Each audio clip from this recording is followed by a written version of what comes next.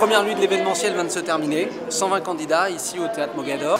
Alors pour moi l'événement est vraiment top dans le sens où ça permet vraiment d'avoir tous les acteurs qui sont représentés dans un seul endroit sur une seule soirée et ça va me faire gagner un temps dingue finalement pour pouvoir euh, faire connaître la solution de manière plus efficace.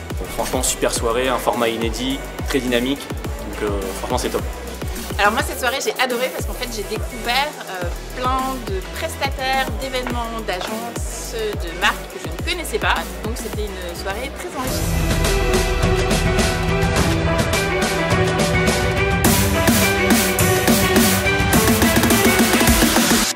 Allez-y, foncez, c'est une super opportunité, il y a de la visibilité, vous pouvez faire des rencontres. Franchement, je recommande à 100%. C'est-à-dire que j'ai déjà euh, quelques idées de projets euh, que j'aimerais bien pitcher une autre fois. J'ai beaucoup aimé l'exercice.